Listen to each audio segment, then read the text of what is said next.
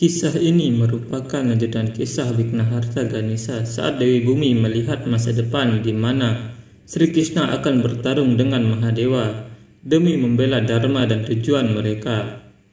Di Sonitpur, Banasur berkata, Putriku, tolong sambut Mahadewa dulu dan kemudian kamu bisa menyembah dewa-dewanya.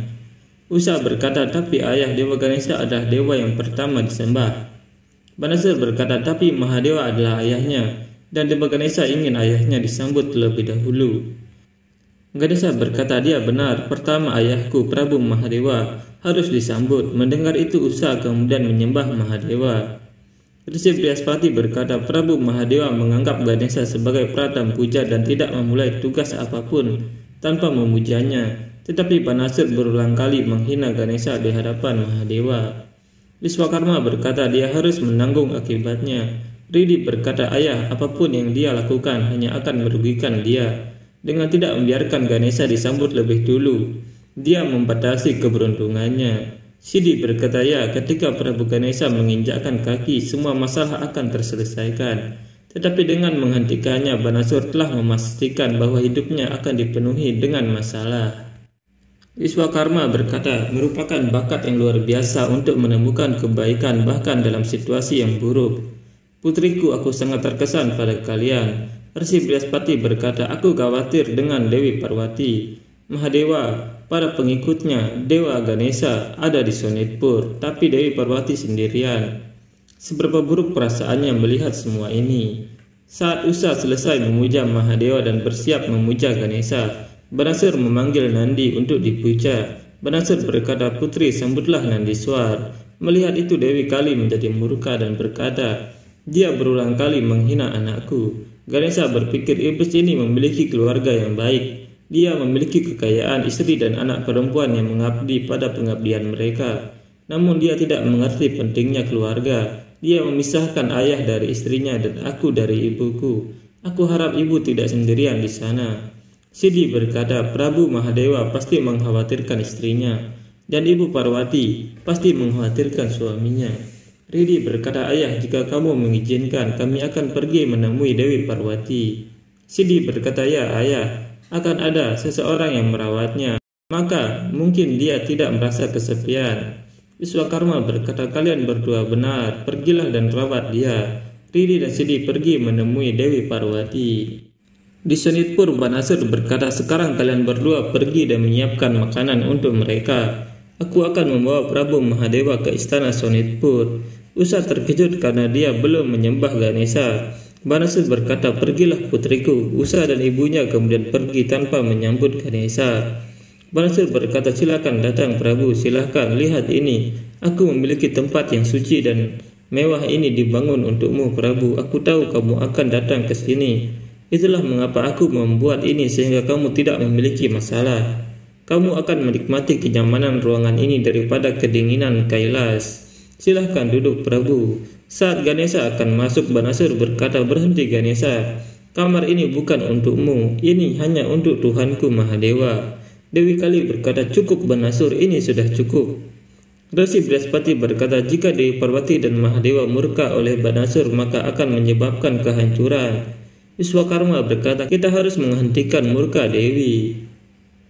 Rini dan Sidi melihat Dewi Kali yang murka dan mereka berkata salam Dewi, harap tenang ibu.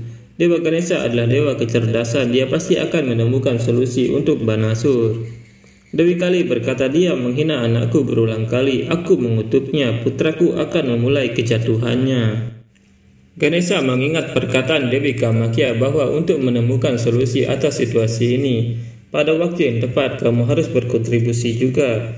Ganesha berpikir kata-kata Dewi Kamakya adalah tanda bahwa sudah waktunya kontribusiku dalam kehancuran Banasur dan Narkasur. Dewi Kamakya, tolong beritahu aku apa yang harus aku lakukan sekarang. Ganesha kemudian melihat pernikahan Usa dan pertemuan dengan Sri Krishna. Ganesha berpikir pernikahan Usa, tapi bagaimana hubungannya dengan kehancuran Banasur? Usa membawa makanan dan berkata salam Prabu. Ayah, mengapa Dewa Ganesha berdiri di luar? Banasir berkata karena ruangan ini penuh dengan segala fasilitasnya hanya untuk Tuhanku Mahadewa. Ada ruangan lain untuk Ganesha. Prabu Mahadewa, mengapa kamu berdiri? Silahkan duduk di kursi terbaik di dunia. Kamu mungkin tidak mendapatkan kenyamanan seperti ini di Kailas Prabu. Tiba-tiba ruangan itu berubah menjadi tempat yang dingin di pegunungan dan Mahadewa duduk di atas batu. Ganesha tertawa melihatnya dan Banasur berkata, apa yang terjadi sekarang? Bagaimana tempat tidur emas ini menjadi batu? Jangan bertingkah seperti musuh dan menghinaku Ganesha. Sebagai seorang penyembah aku akan melakukan segala sesuatu yang membuat Tuhanku senang dan kamu tidak akan ikut campur dalam hal itu. Akan lebih baik jika kamu duduk di sudut ini. Ini bukan permintaanku tapi keinginanku. Dan sesuai restuku, pada pengikut Mahadewa harus menerima keinginanku. Dewi Kali berkata dia juga tidak akan selamat karena telah melakukan kesalahan ini. Ganesha berkata, Banasur, kamu membawa kami sebagai tamu, maka belajarlah memperlakukan kami sebagai tamu. Apakah kamu tidak tahu bahwa menghina tamu adalah dosa? Barasur berkata, jika ada tamu yang menghinaku itu tidak apa-apa, tetapi ketika aku membalasnya itu dosa. Kamu mengajariku untuk mengubah perilakuku, tetapi perilakumu tidak cocok untukmu. Pergi ke sana dan duduk di sudut dengan nyaman. Ganesha berkata, aku pikir kamu harus mencari tahu akibat berbahaya dari tidak menghormati tamu. Ganesha kemudian membesarkan tubuhnya dan gempa terjadi di Sonitpur karena kekuatan Ganesha. Mendengar penghinaan itu, Dewi Kali juga berjalan pergi ke sana. Sidi dan Ridi berkata, Dewi berhenti. Ibu berhenti melihat kemarahan Ganesha usah memuji Ganesha untuk menenangkannya. Begitu juga dengan Ridi dan Sidi berdoa untuk menenangkan Dewi Kali. Mendengar doa itu, Dewi Kali menjadi tenang dan kembali ke wujud Parwati. Ridi dan Sidi berkata, Ibu, putramu mampu memberi pelajaran pada iblis itu. Dia hanya memberi kita contoh tentang itu. Usa berkata, Prabu, ayahku tidak tahu bagaimana memperlakukan tamu. Dia juga tidak tahu bagaimana cara meminta maaf. Aku minta maaf atas namanya, maafkan dia. Ganesha melihat pernikahan Usa dengan seseorang yang merupakan keluarga Sri Krishna. Ganesha berpikir, jadi ini pertanda Dewi Kamakya Usa akan menjadi menantu dua raka. Itu berarti suami Usa akan menjadi kerabat dekat Sri Krishna. Usa dan ibunya memuja Ganesha dan membawa ladu kesukaan Ganesha.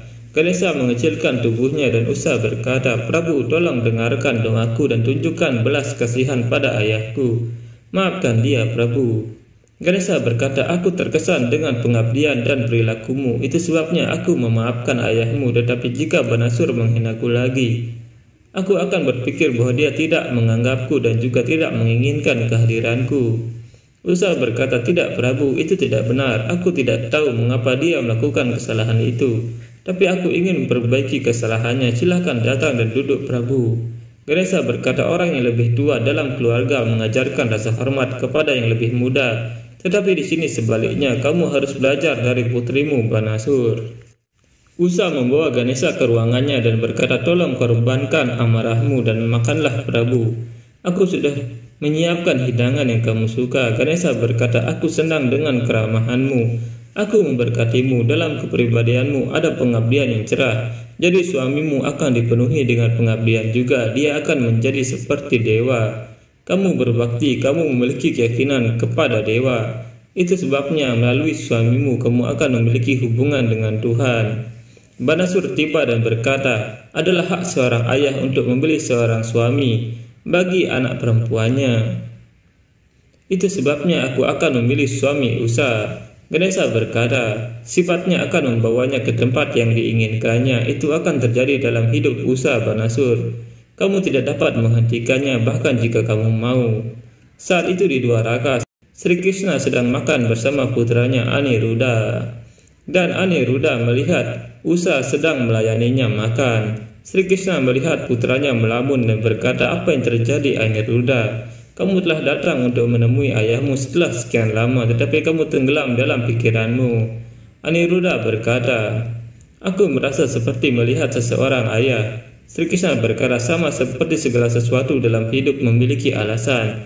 Pasti ada alasan di balik ini juga.